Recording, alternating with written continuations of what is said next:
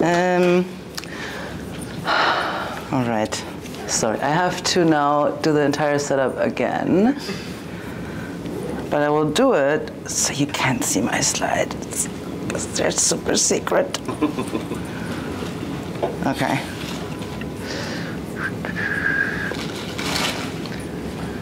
Oh, all right. Oops. okay, how are you doing, KubeHuddle Toronto? Can we do better? Yeah! Nice. Awesome. So, are you excited for the next two days? Yeah. Yeah. Yes, yeah, me too, me too. Um, so this is my first time in Toronto. Beautiful place, a bit cold, I have to say. Um, and I am so happy that I get to be here and talk to all of you lovely folks, give the very, very first talk, the talk that all other talks have to be compared to now. and yeah, I get to be here on stage and share with you the things that I love.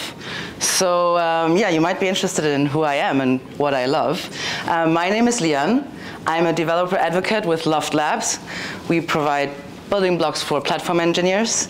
And I'm also the chief karaoke officer of Kuberoke, the first and only, and I have stickers, Kubernetes karaoke community. Yay. So come by and grab some stickers and also talk to me if you want to go to karaoke later tonight. Um, and what I uh, love is to make developers happy. And if you're interested in you know all the other thing, things that I do besides karaoke, you can follow me on the internet at Lian Makes Things or lianmakesthings.dev. Uh, I'm on all the social media ex- except TikTok because I don't get it.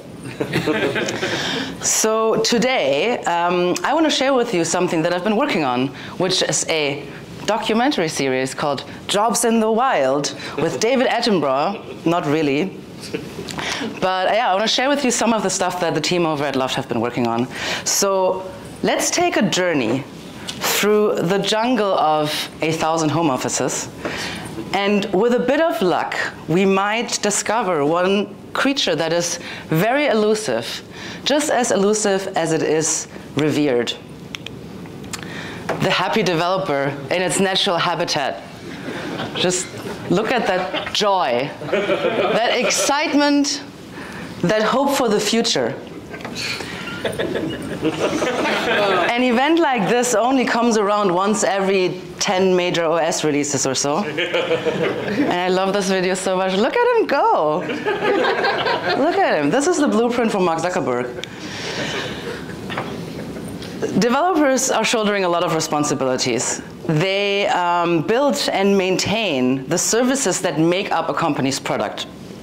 And even though a lot of people would say that the burden of this is to be shared by the entire group, with the advent of DevOps, to some degree, the burden has been um, pushed onto developers to keep the application alive and to make it better.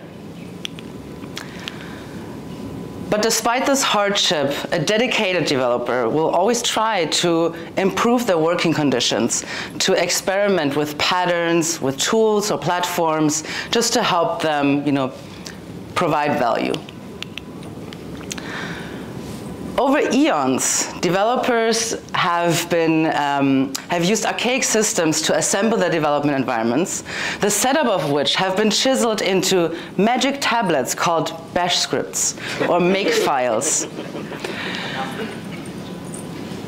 These have been handed down over generations, from generation to generation, with new additions being made, while the reasoning and important parts some of them have been lost to history forever. But modern code archaeologists have, are now trying to find out how to decode these ancient texts to elicit their secrets. Here we see a group of junior developers. they're inexperienced, they're unsure about Kubernetes, they're relying on the wisdom of their ancestors to invoke friendly spirits to guide their workday.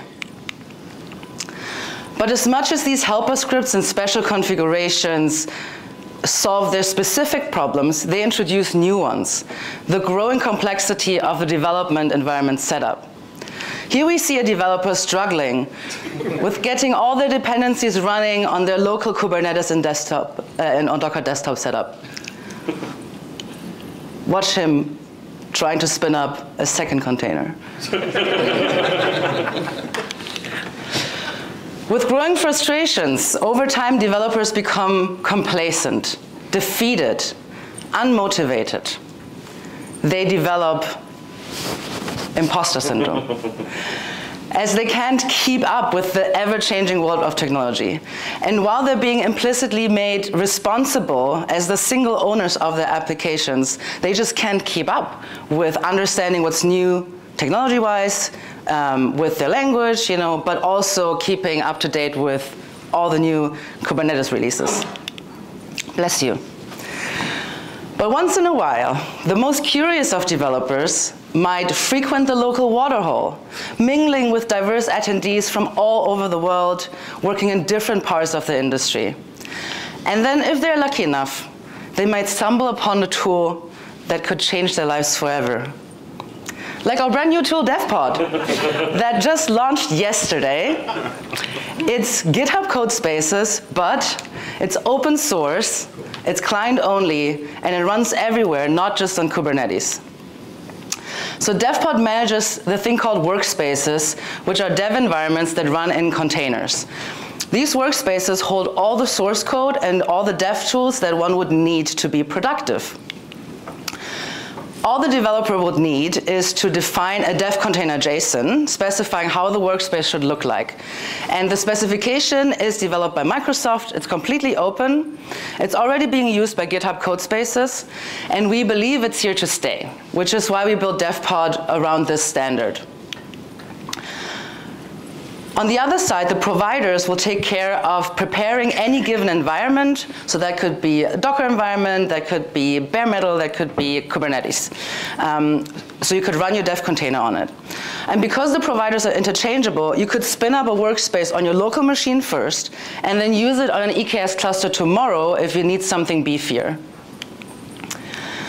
DevPod ships with some of, uh, out-of-the-box providers, but you could also build your own. It's pretty much simple line of bash or a binary.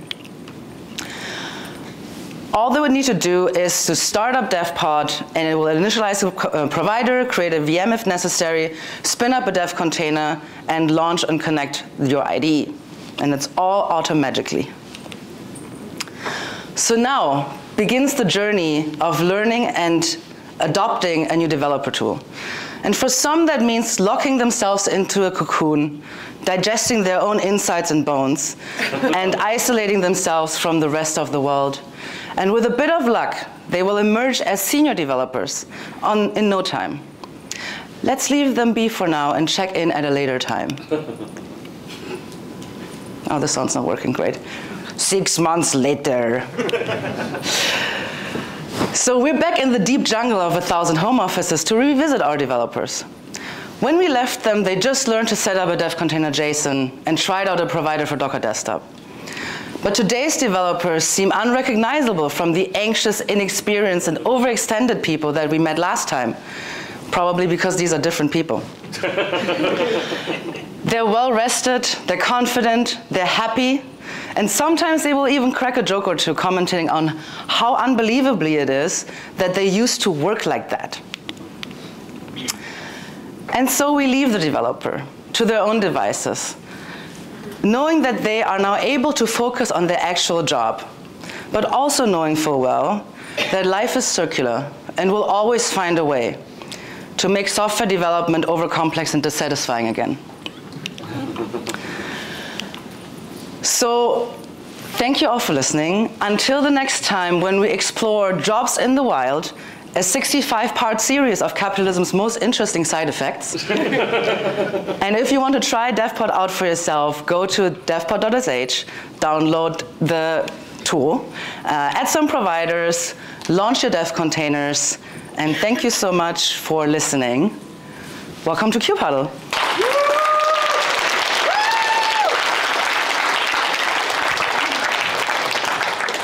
Come to me for stickers. Awesome. We need. Yes, I know, I know, I know, I know. I know.